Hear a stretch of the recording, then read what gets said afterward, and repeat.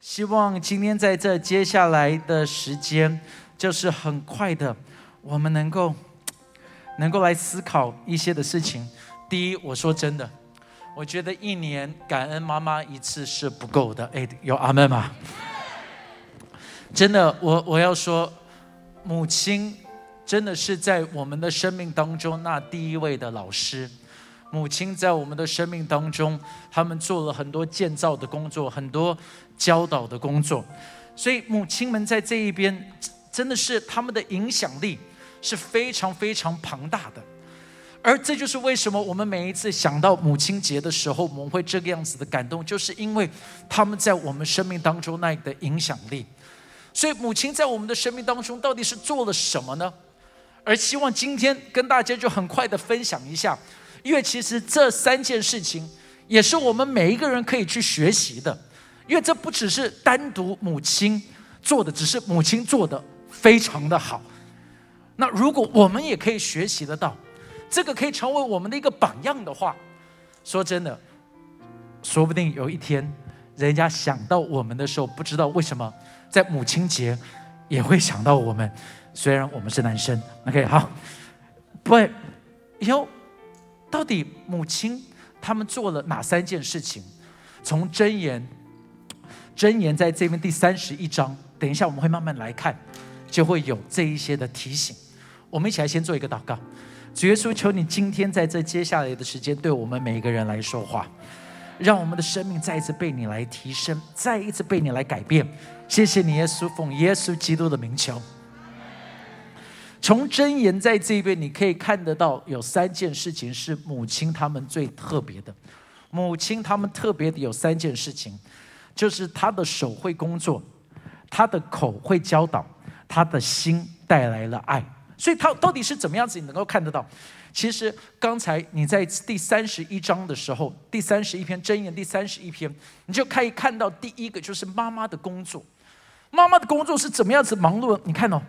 第十三节，他怎么样子说？OK，一起来读，好不好？来，OK，第十九节，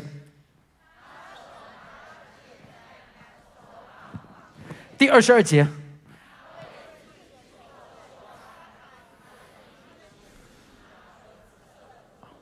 ，OK，你你你有看到他努力的在这一边织衣服吗？就是他准备着衣服，然后他不只是这个样子，你看到第十四、十五、十六，好不好？我们一起一起来看一下，来，把食物，啊，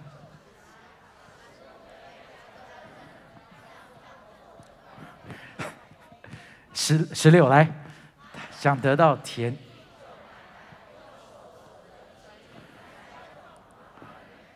，OK，好了。看完这一些的时候，有发现妈妈忙还不忙？我说真的，我觉得在这一个是几千年形容妈妈的生活，好像到现在形容的，好像也还是差不多。特别是什么？特别是刚才第十四节讲的是说，他好像商船从远方运粮来。这有没有像妈妈？就是我我就能够看到这个的画面。翻成现在就是，他好像 Uber E 从远方把食物给带来，你有听懂吗？这就是在这边形容的，所以他就说妈妈很忙，忙着给你穿衣服，忙着给你东西吃。他说一个忙碌的这种忙碌的态度，是成为了一个极大的榜样哎，弟兄姐妹你要知道，孩子在我们的身上啊，所有的人应该这样子说。他们所学习到的不是我们能够说什么，第一个是我们做了什么。你知道你的行为是成为人家最大的一个的榜样，你所做的事情是人家看见到的时候，在这一边他们就会知道说，OK，好，我懂了。因为呢，他们从这一边，他们有英文有一句话很有意思，他说，A lot of things，很多的东西 are caught，not taught，就是是抓得到。而不是教得到的，因为你想想看，在你生命当中有没有很多的习惯，是当你看着这一个行为，当你看着这个的举动，当你看着这个的习惯，而到后面的时候，你也就变成这个样子。我说真的，在我父亲的身上，我就可以看得到很多我奶奶的影子，特别是当我现在年纪越来越会去观察的时候，我就能够看得到我奶奶在我父亲的身上，我可以看得到很多很多的影子。我要鼓励着大家，你要知道，其实，在我们的生命当中，当我们可以活出一种那种忙碌，所谓的忙碌，我殷勤的生活，是我们身旁的人会被影响到的。我我真的很很很很感谢我的母亲，我常常分享，就是因为在我们年纪轻的时候，当教会非常的辛苦，当教会没有钱，这每一个月的薪水，牧师的薪水全部。都是用回到教会里头，有的时候薪水都发不出来，所以我们的母亲她在那时候，师母那时候就是一天需要做两份的工作，早上出去上班到下午，下午再去另外一个地方工作，她工作的很辛苦，但是在这辛苦的工作当中，他又努力的要教我们的功课，因为那时候我们的英文也不好。所以又要教我们的功课，又要努力的工作，然后之后他发现做两份工作赚的钱还不够，他还去兼第三份的工作，在这一边整个的行为、整个的行动，说真的也就影响到了到现在我跟我哥哥还有我的妹妹，就影响到我们有一个的态度，就是第一个，我我我们知道什么东西叫做殷勤的工作。我要说，在座的许多的人，你去想想看，你殷勤的工作跟你的父母所留下来的榜样有没有关系的？OK，因为这是有关系的。我也要说，我非常感谢我的妻子，因为我的妻子在这一边的时候，我就我就真的发现，她是一个很会用手去做事情的人。所以我今天早上我起床的时候，我从我房间一出来，我就看到这个的画面。不是这个是啊，右上角的右上角的画面，你一定在在想这是什么东西？那就是他拿了晒衣架，然后摆了一块的布挡住了两个房间的前面，这样子，如果需要开冷气或者是开暖气的话，只需要开一台，两个房间都可以吹得到风。你知道吗？让你。他他会做很多的东西，他的他他常常为了孩子，他为了要省钱，孩子喜欢有的时候要有一些的玩具，所以他就做什么呢？你知道，左上角就是他拿了所有我们家里头的不能穿的衣服，他就带着孩子去做成一个布娃娃，然后下面是什么呢？就是你看喷漆要要要做什么？就是有的时候。我家女儿玩一些玩具玩腻了，她不去买新的玩具，她直接喷漆就变成新的玩具了。感谢主有帮我省钱的太太。你知道，她她很特别的是什么？她努力的去做什么？像呃，有有有一次，我的孩子他们在那时候就很喜欢机器人，所以他很喜欢机器的原因。那他就会做什么呢？我我太太就决定是说啊，那这样子，那机器人需要有一个火山爆发的蛋糕，是他的生日，所以他就自己想办法去研究，然后他就做了这个蛋糕给他。我给你们看一下，好不好？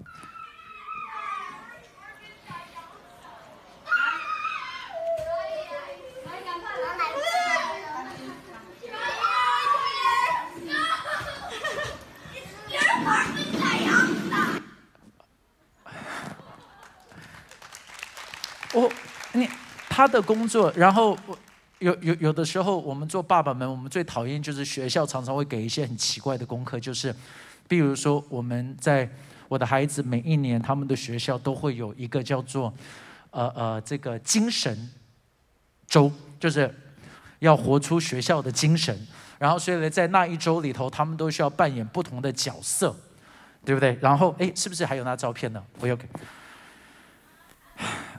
这些的帽子就是他要自己去缝，把它给缝出来的。这个还算简单，我给你看这个，就是他半夜不睡觉去缝这一些的帽子。那我我知道大部分的人你就想去买不是就好了嘛？但是我跟你讲，Harvard Business Review，OK，哈佛的这个的商学院他们做过一个的研究，他们说什么？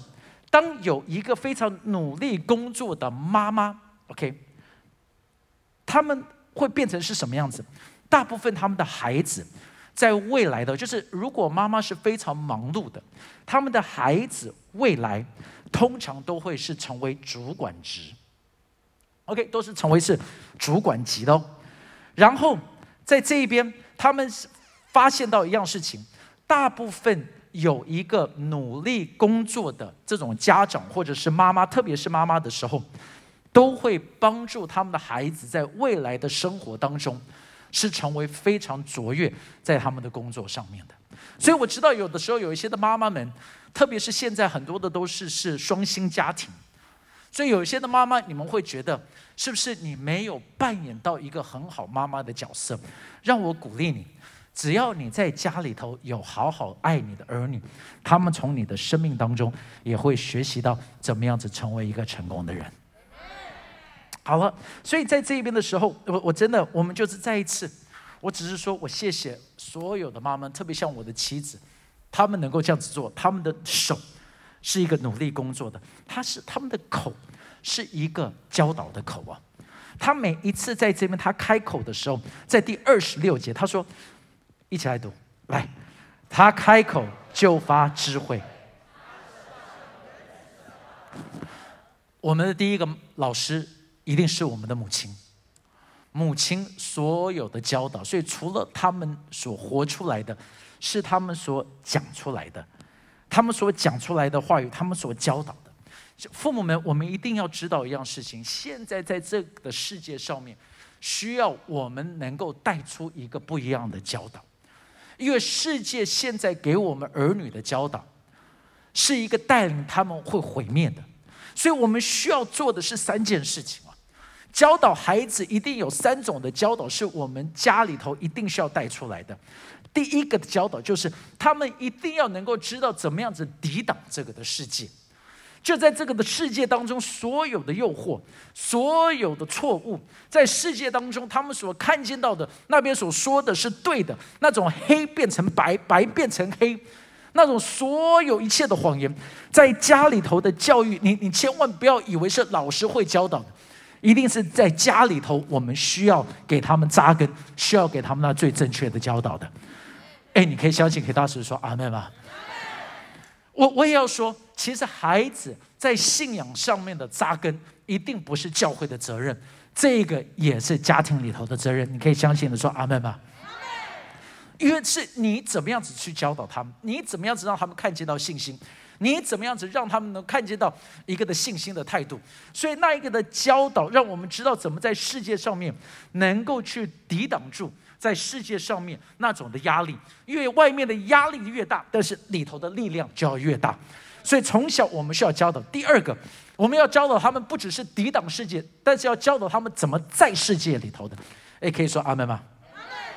就是在这个的世界上面，他们要活出一个什么样子的生命？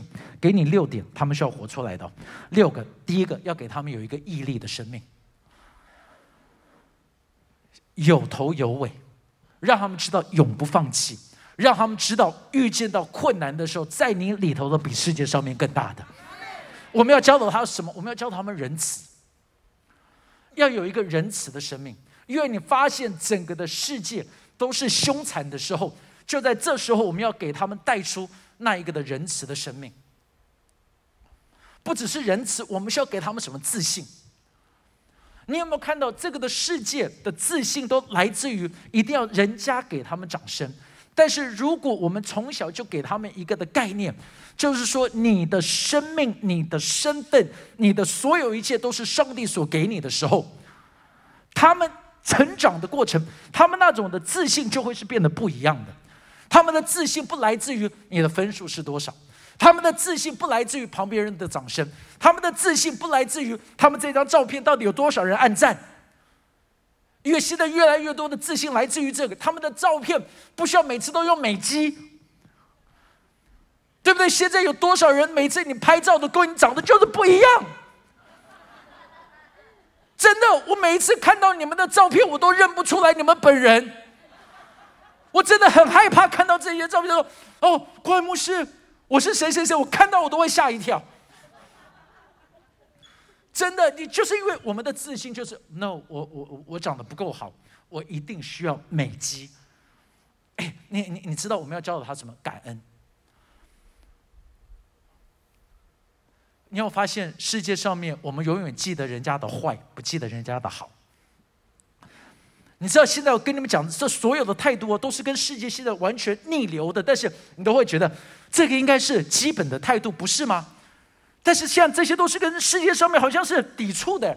你知道我们要教导他们什么？我们要教导他们慷慨。富足的人是什么样子的人？是一个分享的人。哎，阿妹吗？真的，富足的人不是有最多钱的，富足的人是最慷慨的人。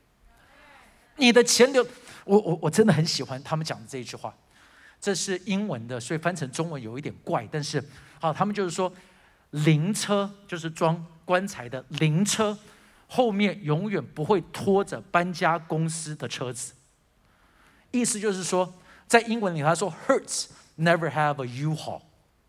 好，意思是。一个人死掉的时候，东西都带不走，除非你秦始皇了。OK，好，你懂吧？东西都摆进去了，那真的就是这个样子，你永远都带不走。所以在你生命当中，学习成为一个慷慨的人。大家越来越安静的感觉，OK。但是你知道第六个是什么？要学习要自爱，就是他们要自己发现自己的价值，不只是要有自信。他们要学习的爱自己，因为如果我们说你要爱人如己，你发现到为什么现在世界上面你这么恨外面的人？因为你正在爱人如己。所以当你知道怎么爱自己的时候，就会变得是不一样的。明白吗？这个的妈妈还会学的是什么呢？第三点，她的心会爱。你看到第十一节到第十二节，我们一起来读，好不好？来。她丈夫心力依靠她，并不缺乏利她一生使丈夫。OK，注意到，在这一边，她所形容的是什么？就是这一个的这一个的先生，因着他的支持，因着他的 support，因着他的爱，是充满了自信。现在社会当中，大部分的。都已经不再有家，只是有住的地方。家缺乏的是什么？家缺乏的是爱。就有一个的故事在《Reader's Digest》，我读到的时候，我很被提醒。他就说，有一个的家，他们是住在很破旧的一个的车房，在美国的那种 mobile home，很烂的一个的家。他住在那一边。在这个的家是很破烂的，然后这个的孩子，他的同学是住在豪宅。那有一天，这个的妈妈就听到，这个住在豪宅的同学逃家了。然后，这个妈妈就问他说：“你的同学拥有这么多，为什么他要逃家？”他就说：“因为他的家什么东西都有，但是没有爱。我们的家。”什么东西都没有，但是充满了爱。嗯，在箴言三十一就说，这个的妈妈，她是一个手很勤的，这个的妈妈是温柔教导的，这个的妈妈是充满了爱。我要说刚才这三点。不是只给妈妈们的，是给我们所有的人。是否我们可以学习这种的态度？你知道，社会所好像所高举的就是啊，如果有一天我们就可以退休，然后住在小岛上面，每天喝一个 Margarita，然后躺在沙滩上面。哟，no，通常这个样子的人，大概这样子一下下，他们就会觉得生命完全没有意义。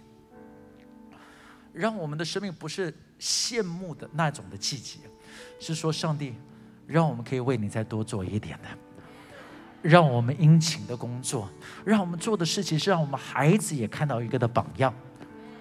那再来就是那一种的教导。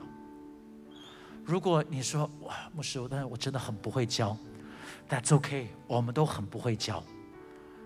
还好有真言，还好有神的话语。你可能不会教，但是就带着你的孩子好好读神的话语。让我跟你讲，神的话语会成为他们最好的一个的根基。然后第三个，像我说的，你知道我们要给的不是再多物质上的东西。讲坦白的，在台湾，这真的是一个非常富足的国家。我们很少看到在我们这一边会有太多太多的贫穷，大部分都都还好。所以他们需要的不是再多一点的钱，不是需要再多一点给他们的东西，但是这个的世界其实现在最缺乏的是更多的爱。在家里头能不能再多一点的爱？就在再忙碌也好，每一天十五分钟、三十分钟，把它拿出来陪伴着，让你的孩子感觉到爱。我正在挑战一件事情，我家的老大现在已经是高一，OK，升高一。我在挑战，就是我看他会让我亲他到几岁，就是我现在每。一次看到他，我尽量如果可以，我就是故意到他的房间，去抱着他，去亲着他，去跟他试着聊天。虽然他现在越来越不想要跟我聊天，但是你知道吗？当我可以经济制裁他的时候，我还控制住了一切，对不对？我可以经济制裁他。砍掉所有的经济，连他打电动、减电，对经济制裁他，所以在这当中，他都需要听我的。我我就在调，哟，让我们的家是充满爱的家，Amen。可吧，我们一起起立，可以吗？